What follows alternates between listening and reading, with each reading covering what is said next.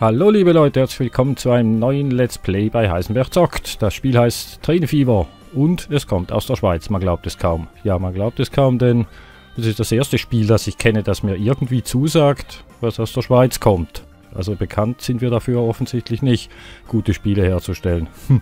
Naja, wie auch immer. Ähm, gemacht wurde das Spiel von Urban Games aus Schaffhausen. Herausgekommen ist es bei Astragon und das Ganze ist so, ja, eine Modelleisenbahnsimulation, würde ich bald sagen. So eine Mischung aus Transport Tycoon und Industriegigant. Das sind eh zwei Spiele, die habe ich nächtelang gesuchtet. Ich habe die Teile geliebt. Dieses Schienen verlegen, Signale stecken und und und. Ach, es ist einfach herrlich. Der GameStar gefällt das Spiel anscheinend auch. Das hat 82% bekommen. Das ist relativ fett, vor allem für diese Art von Spiel, würde ich mal meinen. Und ja, es läuft eigentlich als Wirtschaftssimulation. Das sehe ich aber ein bisschen anders. Das ist eher Aufbaustrategie oder eben Modellbausimulation meinetwegen. Denn für ein Wirtschaftsstrategiespiel, würde ich mal sagen, hat äh, schlicht und einfach zu wenig Tiefe. Denn man kann genau mal mit drei Gütern handeln. Und eigentlich steht das sowieso im Hintergrund. Im Vordergrund steht ganz klar der Modellbau. Oder der, warum sage ich immer Modellbau? Eigentlich kann man auch sagen der Gleisbau. Es steht, steht ja nirgends geschrieben, dass das ein Modell sein muss, nur es hat eben diesen Modellbau-Flair. Ja, okay, dann würde ich sagen, lasst uns mal anfangen. Also, neues Spiel. Oh, da steht noch mein alter Nickname, das löschen wir. Und schreiben den richtigen Namen rein. Heisenberg zickt. Ja, genau, Heisenberg zickt. Nee, Heisenberg zockt. So, habe ich gleich. Schwierig mit dem Mikro im Weg. Okay, Weltgröße machen wir mal mittel. Denn äh, klein ist definitiv zu klein. Da generiert sich nichts, also weder Geld noch irgendwie Verkehr noch sonst was. Ist zu schnell aufgebraucht. Und groß, da kriegt man Performance-Probleme. Das Spiel hatte sowieso zu Beginn große Performance-Schwierigkeiten. Das ist auch der Grund, warum ich das erst jetzt Let's Play. Ich wollte schon viel früher machen, nur ging nicht. Und auf den großen Maps hat man das Problem eben immer noch, trotz den Patches, die es jetzt gegeben hat und die das Spiel durchaus sehr spielbar machen. Dann Landschaftstyp machen wir mal flach, denn äh, wir haben schlicht und einfach nicht das Geld für Tunnels und Brücken am Anfang, dann kommen wir auch nirgends hin. Die Schwierigkeit machen wir auch einfach, denn ja, mittel und schwierig, das sind Stufen, wo halt einfach auch die Gelder nicht fließen. Das macht auch keinen Sinn, wenn man etwas Schönes bauen will. Startjahr 1850, das ist Standard, dann beginnt das eigentlich mit Pferdekutschen und so weiter. Ich habe aber schon mal zwei, drei Stunden gespielt, um mir das Ganze mal in Ruhe anzusehen und äh, zu sehen, ob sich das überhaupt lohnt, zum, um, äh, um es zu Let's Playen. Und es lohnt sich, das kann ich schon mal sagen. Ich bin schlicht begeistert, aber was wollte ich denn jetzt sagen? Genau. Wir starten 1950. Ich habe das schon mal freigespielt und der Vorteil ist halt, man hat dann die ganzen modernen Bahnen. Das sieht einfach besser aus, wie da die Pferdekutschen, die bald noch von Hand gezogen werden 1850. Und es kommen neun, ab 1950 sowieso immer noch genug neue Sachen dazu. Also stellen wir das auch mal ein, nicht nur erzählen, sondern auch machen. Gut, dann haben wir das ja soweit. Dann lasst uns doch beginnen. Füp, füp. So, da sind wir wieder. Ich musste einen kurzen Schnitt machen, denn ja, wenn es hier mal eine neue Welt lädt, dann dauert das. Ging jetzt etwa drei Minuten und das war natürlich nicht so interessant. So, aber jetzt sind wir hier auf unserer mittleren Karte. Hier sehen wir die Städte und die Gebiete und so weiter, die Industrien. Ein kurzes Wort zu den Industrien. Eben im Moment gibt es einfach Holz. Es gibt äh, Kohle und Erz. Das wird dann zu Eisen verarbeitet. Und es gibt Öl. Und es braucht dann immer diese zwei Bestandteile oder einen. Und daraus werden Waren gemacht. Das sieht man hier. Und die Waren, auch Güter genannt, die muss man dann in die Städte befördern und dadurch wachsen die Städte. So. Oder man verbindet die Städte mit Bahnlinien oder Buslinien, Personenverkehr. Das geht natürlich auch. Ich habe jetzt ganz einfach die Erfahrung gemacht, dass man mit Personenverkehr, vor allem mit Zügen, am Anfang überhaupt nichts verdient. Denn die Züge, die fahren dann erstmal trostlos leer hin und her. Das dauert eine Weile, bis sich da mal irgendeiner erbarmt, auch mal einen Zug von uns zu benutzen. Deswegen ist es schlicht und einfach besser, man fängt mit Industriegütern an und das äh, noch mit Lastwagen. Das zahlt sich relativ schnell aus, habe ich festgestellt. So, dann machen wir das mal. Jetzt am meisten verdient man mit, äh, mit Stahl, habe ich festgestellt. Und dann gucken wir mal, wo es hier am besten irgendwie so eine Kombination gibt. Na hier, gibt's doch schon. Hier haben wir Eisenerz. Hier muss das Eisenerz hin und hier haben wir die Kohle. Und die Kohle, die muss auch hier hin. Und von hier geht es dann hier runter nach... Wo sind wir denn hier? Gehen wir mal ein bisschen näher ran. Weitersburg, da geht's hin. Okay, dann machen wir das doch gleich mal. Also, bauen wir als erstes eine Haltestelle, aber das nennt sich hier natürlich nicht, Lag nicht Haltestelle, sondern LKW-Ladeplatz. Der kommt hier beim Erz hin. Machen wir auf die andere Seite, damit wir das alles noch ausbauen können, denn die Fabriken, die werden auch größer im Laufe der Zeit. Jetzt habe ich sie dazu gemacht, sehr clever. So. Auch auf die andere Seite, genau, damit, damit es atmen kann. Dann haben wir hier die Kohle. Da kann man übrigens gehörig nah ranzoomen, das seht ihr hier. Das ist eben auch relativ cool, vor allem da mit den Zügen, denn die Züge, die sind wirklich sehr schön modelliert. Muss man wirklich sagen, das sieht sagenhaft aus. Also, was wollte ich denn hier auch noch so ein Teil hinstellen? Genau. Und dann wollen wir noch eins bei der Stadt, damit hier die Waren abgeliefert werden können. Warum mache ich es denn jedes Mal zu? So, und zwar machen wir das mal hier, dann haben die nicht so einen weiten Weg. Dann stehen jetzt schon mal die Bahnhöfe sozusagen. Dann brauchen wir jetzt natürlich noch Fahrzeuge. Dafür brauchen wir ein Depot. Mache ich es wieder zu, natürlich. so, Straßenfahrzeugdepot, das machen wir hier am besten in die Stadt oder zur Stadt hin, denn hier wollen wir auch noch ein Bussystem dann etablieren. Jetzt stelle ich hier überhaupt mal das Spiel ein, das lief noch gar nicht. Da sieht man hier unten schon, wie sich die Sachen bewegen. Da fährt schon was und ist wieder weg. So, jetzt geht es vielleicht besser mit gucken, genau. Hier alleine schon die Fahrzeuge sind relativ schön gemacht. Es gibt natürlich mittlerweile schon hunderte von Mods für das Spiel. Ist unglaublich, wie schnell das ging. Also ich bin völlig überrascht. Das ist dann wie ein, ein Kinder-Spielzeugladen. Man kann sich da neue Bahnen runterladen, neue Lokomotiven, neue Häuser und und und. Ich spiele das jetzt mal zu Beginn zumindest äh, ohne große, ohne groß Mods zu benutzen. Die, ein, die einzige Mod, die ich habe, das seht ihr jetzt hier. Wenn wir hier ein Fahrzeug kaufen. Hier dieser Opel, das ist sowas, so sieht der Standard Lastwagen aus. Und jetzt habe ich hier eine Mod geladen mit zusätzlichen Fahrzeugen, die einfach besser aussehen. Je nachdem, was man transportiert, so sieht dann halt der Lastwagen aus. So, und jetzt was brauchen wir denn? Öl wollen wir transportieren. Jetzt nehmen wir mal, damit wir nicht gleich pleite gehen, nur je ein Fahrzeug pro Linie. Apropos Linie, genau, Linien müssen wir ja noch machen. Jetzt haben wir schon mal ein Fahrzeug gekauft, aber jetzt erstellen wir mal zuerst eine neue Linie. Und zwar, jetzt machen wir aber das Öl, wenn wir schon Öllastwagen gekauft haben. Das war hier hinten. Also der soll hier hin und soll das Öl hier hinbringen. Genau, also Linie 1. Dann weisen wir das dem Fahrzeug mal zu. So, der soll Linie 1 benutzen und schon macht er das. So, sieht doch so schon cool aus und das ist noch nicht mal eine Eisenbahn. der fährt jetzt da hoch und holt sich Öl. Wobei hier auch zu Beginn das Ganze auch so eingestellt ist, dass jetzt hier nicht gleich tonnenweise Öl rumliegt, sondern das dauert immer eine Ecke. Der produziert immerhin schon 13 von 25, die er maximal produzieren kann. Und wenn er das erreicht hat und sieht, dass die Sachen abgeholt werden, äh, dann vergrößert sich die Fabrik auch. Das sieht man hier unten. Vergrößern oder verkleinern. So, nächste Karre. Wir müssen noch Erz holen. Straßenfahrzeug kaufen. Womit können wir Erze transportieren? Der transportiert Güter. Güter. Eisenerz so einen kaufen. Dann erstellen wir für den wieder die Linie. Das ist von hier hinten. Einmal Eisenerz. Muss hier hoch. Also das war Linie 2. Hier unten ist er. Der kleine Schelm. So, Linie 2. Können wir auch schnell gucken. Der fährt auch los.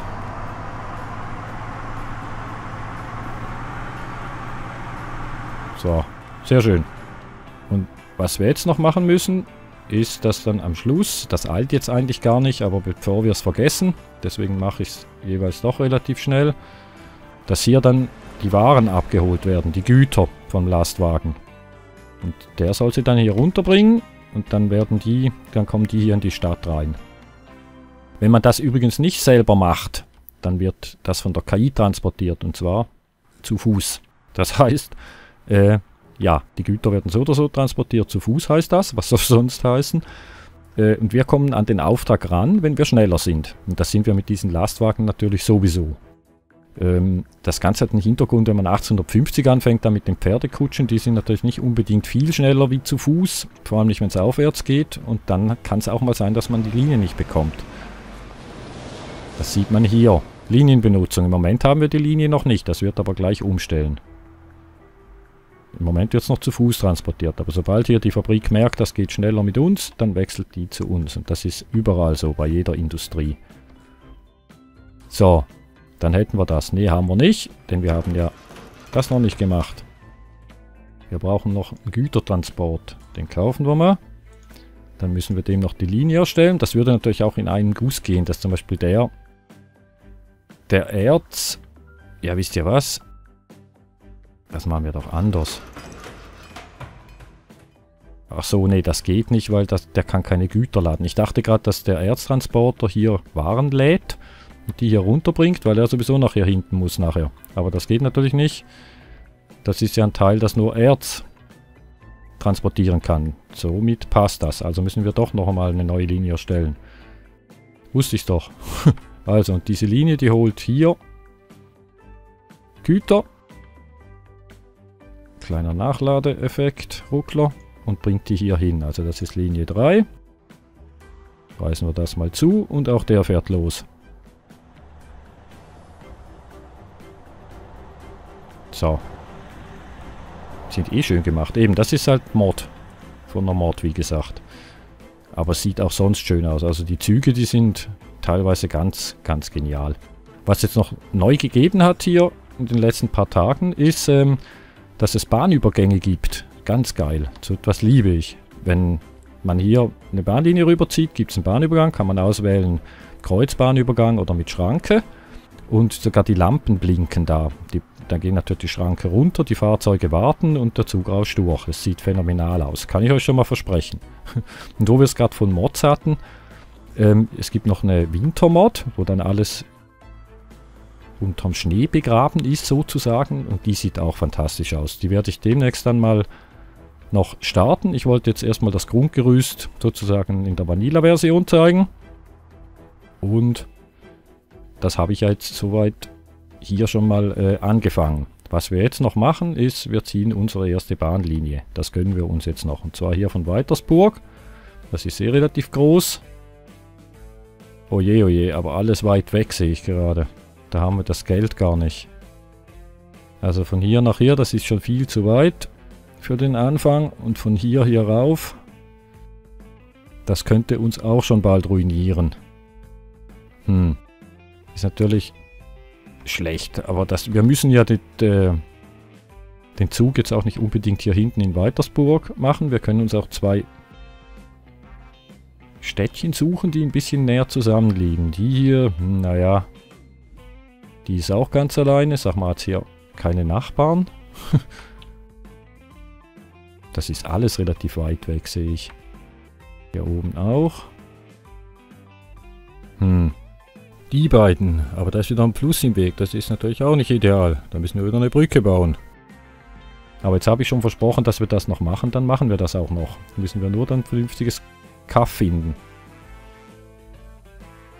Aber es ist tatsächlich nichts wirklich so nahe beieinander, dass man jetzt äh, sagen müsste, es schreit danach, mit dem Zug verbunden zu werden.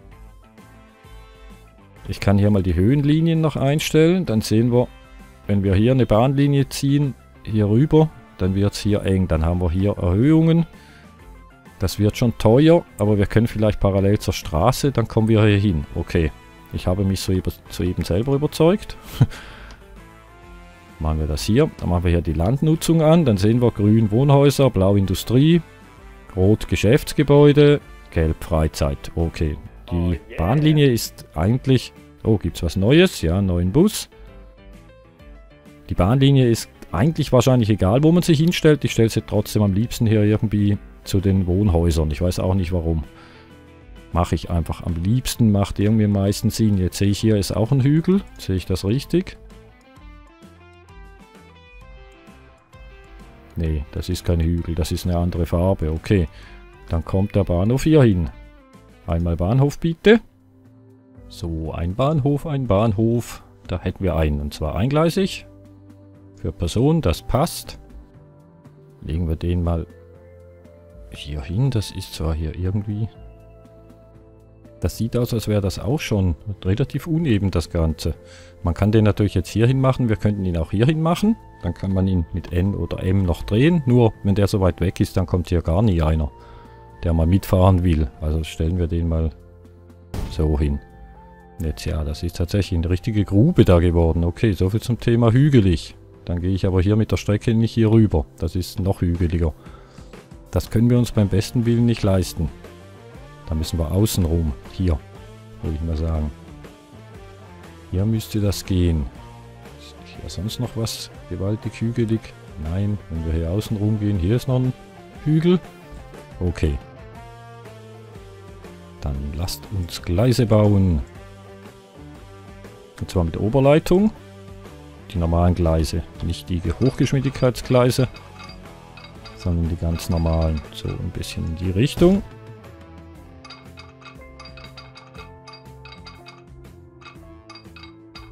Hier gibt es schon mal einen Bahnübergang. Den ersten, den können wir uns gleich mal ansehen. Ist schon cool gemacht hier. Das bimmelt dann rot. Also nee, das bimmelt nicht rot, das leuchtet rot. die, äh, die Schranken gehen natürlich runter und die Autos warten dazu gerade ab vorbei. Sieht einfach wirklich gut aus. So, weiter geht's. Hier musste er auch schon ein bisschen graben. Hier wollen wir ein bisschen eine größere Kurve machen. Damit er die Höchstgeschwindigkeit beibehalten kann, die 120. Jetzt können wir wieder mal ein Stückchen gerade gehen. So, mal gucken. Nach da hinten wollen wir. Dann müssen wir jetzt langsam eine Kurve machen. Ne, wollen wir noch nicht, denn hier ist es auch hügelig. Wir wollen noch ein bisschen geradeaus. So, noch ein bisschen. Und jetzt ziehen wir rüber. Hier über die Straße natürlich. Vielleicht noch ein bisschen größer. Wegen dem Tempo. Geht nicht. Naja, 107 ist auch nicht so schlecht. Jetzt habe ich vergessen, den Bahnübergang zu machen. Dann stehen hier einfach die Kreuzbahnhöfe. Kann ich aber anklicken. Und da kann ich auswählen. So. Gut. Weiter mit dem Geleise. Noch ein bisschen zumindest. Ne, nicht hoch. Eins runter. Ne, auch nicht. Das passt so. Gut, dann haben wir es mehr oder weniger ebenerdig. Und jetzt machen wir mal den zweiten Bahnhof. Damit wir genau wissen, wo wir hinwollen. Wo war der? Der war hier. Wo stellen wir den am besten hin, dass wir hier eine gerade Verbindung hinkriegen. So, fürchterliches Rumgeruder. Entschuldigung. Ich würde mal sagen, so wäre der nicht schlecht. Dann kann man da noch eine kleine Kurve machen. Den machen wir aber ein bisschen entfernt.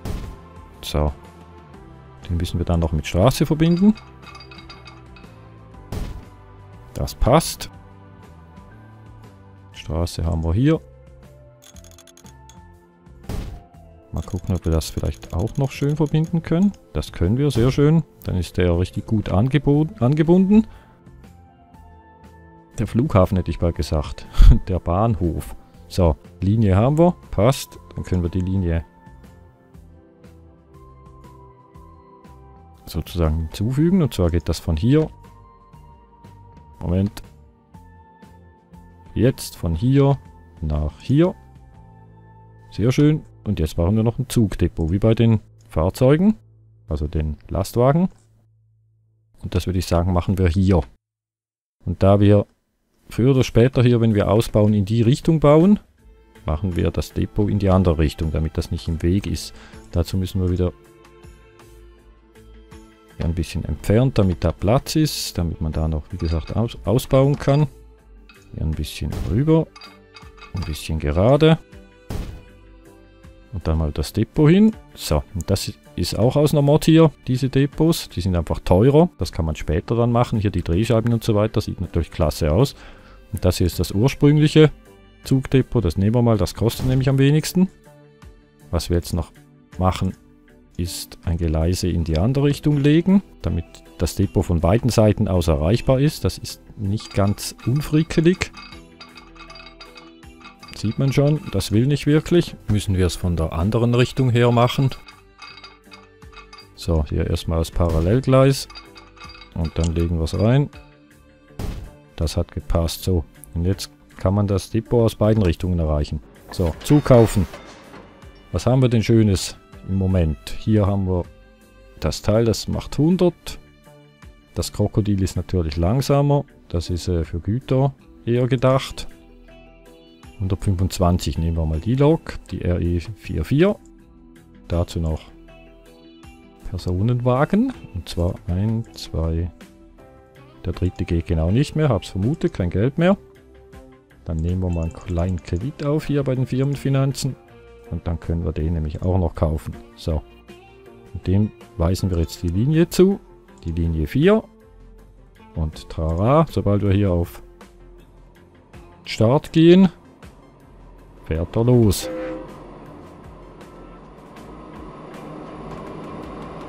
Und das ist einfach schön gemacht. So detailliert. Einfach klasse. Da geht einem alten Eisenbahnfan einfach das Herz auf. Wir können mal noch mitfahren.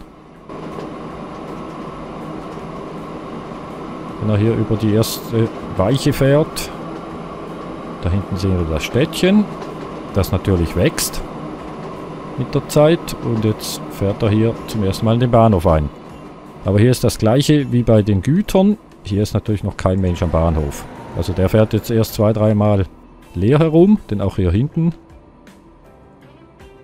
wird der Bahnhof noch ein ganzes Stückchen leer sein. Was wir hier noch machen müssen, ist dann Buslinien in der Stadt bauen, damit die Leute hier zum Bahnhof kommen innerhalb nützlicher Frist, nennen wir es mal so. Jetzt fährt er schon wieder zurück, der gute Zug.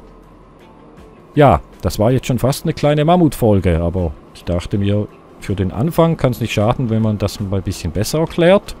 So richtig spielen können wir ab der nächsten Folge. Jetzt haben wir die erste Zugverbindung und wir haben Busse und gucken in der nächsten Folge, wie es weitergeht. Ich hoffe, euch hat es ein bisschen gefallen und ihr seid nächstes Mal auch wieder mit dabei. Danke fürs Zusehen, Leute. Bis dann. Wusch. Tschüss.